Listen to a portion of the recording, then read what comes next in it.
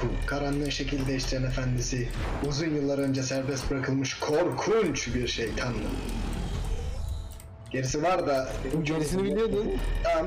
Oğlum, Ama anla. sihirli bir kılıç kullanan ahmak bir samuray savaşçısı önüme çıkıp bana karşı koymaya çalıştı. Fıçı, fıçı. Son darbe vurulmadan önce zamanda bir kapı açtım ve onu kötü ruhumun hakim olduğu geleceğe yolladım. Şimdi o ahmak geçmişe dönmenin ve geleceğin kendi olan akuyu mahvetmenin yollarını arıyor.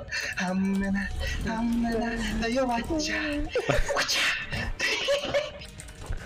Bak şarkıyı bir daha söylesene.